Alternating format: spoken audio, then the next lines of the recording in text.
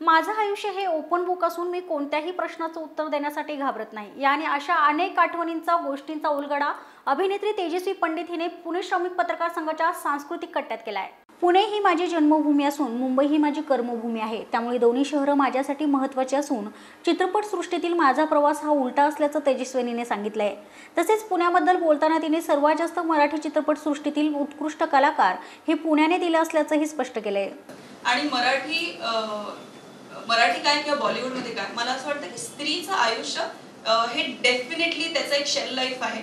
म्हणजे पस्तीस चाळीस पस्तीशी पर्यंत हिरोईनचे रोल्स डेफिनेटली मिळू शकतात.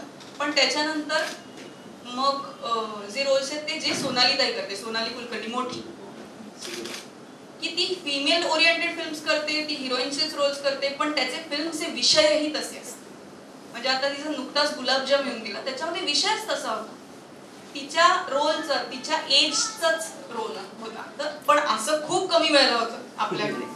यावेळी पत्रकार संघाचे अध्यक्ष राजेंद्र पाटील सरचिटणीस पांडुरंग सांडभोर आदी मान्यवर उपस्थित होते.